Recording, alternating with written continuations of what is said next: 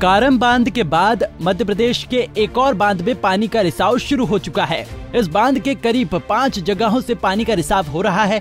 इस बाँध का नाम अर्दला है, जो खंडवा ज़िले के आबरा नदी पर बना हुआ है। और रिसाव होने के मुख्य कारण ये है कि बाँध ओवरफ्लो हो गया है।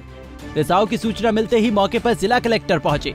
भारी बारिश से कच्चे मार्ग पर कीचड़ होने से डैम तक आठ किलोमीटर का रास्ता अफसरों को ट्रैक्टर से तय करना पड़ा। डैम के निचले हिस्से में लगभग सात गाँव बसे हैं। ऐसे में अगर रिसाव बढ़ता है तो गाँव वालों के लिए ये बड़ी मुसीबत बन सकता है। एक तो सबसे बड़ा एक खतरा हमारे नया देखने में आया है कि अभी तक ये खतरा नहीं देखा, ये पानी रहा है डैम का, और ये खतरा हमारे लिए तो बहुत बड़ा हो सकता है, क्योंकि हम तो सब गाँव वाले डरे हुए हैं, क्योंकि हमने सुना है कि पहले भी डैम कुछ फूट चुके हैं तो इससे बहुत बड़ा नुकसान हो चुका है, अरबों खरबों की फ़सलें हमारी नीचे लगी हुई है तो इससे हम प्रशासन को डैम विभाग वालों को खतरा नहीं दिखता, लेकिन हमारे को तो बहुत बड़ा खतरा दिख रहा है कि ये बड़ा बन सकता अभी नहीं बना बना, लेकिन बन सकता है। और दूसरी समस्या है महिलाओं की, सबसे बड़ी कि आज स्कूल के बच्चे स्कूल नहीं जा पाए ऐसे कहीं बाहर नहीं जा पाए, क्योंकि रास्ता बंद पूरी तरह हो चुका है। आप जो भी अधिकारी यहाँ पे आए, इन्होंने खुद ने देखा होगा, निकल के हाथ पकड़ के एक दूसरे का निकले हैं। तो बच्चे कैसे निकल पाएँगे?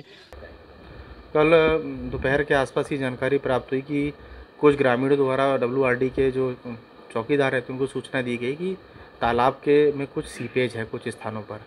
फिर उसके बाद जब ई डब्ल्यू आर डी द्वारा तालाब की साइड पहुंचकर उसका निरीक्षण किया गया तो पाया गया कि तालाब में एफटीएल से ऊपर पानी था और वहाँ पे जिस तालाब को, जिस व्यक्ति को ठेके पर मछली पालन के लिए दिया गया था, उसके द्वारा उसके वेस्ट वियर की तरफ़ जालियाँ लगा दी गई थी, जो डबल और ट्रिपल लेयर में थी, जिसकी वजह से पानी, जो वेस्ट वियर के थ्रू बह जाना था, वो बह नहीं पाया और तालाब में जो पानी का स्तर था, वो बढ़ गया और उस बढ़ बढ़े हुए पानी की वजह से उसमें दो तीन चार जगह से तो थोड़ा थोड़ा सीपेज हो रहा था। फिर डब्ल्यू के द्वारा वहाँ पर पहुँच उसको जाली को जैसे ही हटाया गया तो पानी जो वेस्ट वियर से बहुत तेज़ी से निकलने लगा और जैसे ही तालाब में पानी का स्तर कम हुआ, उससे सीपेज भी बंद हो गया। तो कल लगभग जो आज सुबह की स्थिति में पानी बहुत सामान्य रूप से वेस्ट वियर से निकल रहा है लेवल काफ़ी सेटल हो गया है। और कल भी उनके द्वारा जो सीपेज को रोकने के लिए कुछ तात्का- तात्कालिक टेम्प्रेरी काम किए गए थे, आज उसको परमानेंट करके पूरी तरीके से कम कर देंगे क्योंकि कल पहली प्राथमिकता थी कि जितना पानी है उसको तेज़ी से निकाल दिया जाए। नहीं कोई खतरे की संभावना नहीं बहुत छोटा टैंक है तीन एमसीएम का टैंक है तो ऐसा उसमें कोई संभावना नहीं है। रात में भी हमारे वहाँ तहसीलदार थे और फिर भी प्रिकॉशनरी हमने सभी जो डाउन स्ट्रीम में गाँव पड़ते थे वहाँ के सचिव जी को बोल दिया था ऑल जो हमारा रिवर चैनल उससे बहुत दूर आबादी है। और बहुत चूँकि वो आबना नदी का चौड़ाई भी बीच बीच में बहुत ज़्यादा हो जाती है और छोटा ही तालाब है तीन एमसीएम का तो ऐसी कोई इसमें संभावना नहीं। और आज शाम तक उसका जो भी रिपेयर का काम है पूरी तरीके से कर लिया जाएगा। और ई डब्ल्यू से एक रिपोर्ट लेकर उसे फिर भी हमारी टीम लगातार उस पर निगाह रखेगी वो ब- बताया ना कल पानी वेस्ट वियर से बहुत तेज़ी से निकल रहा था।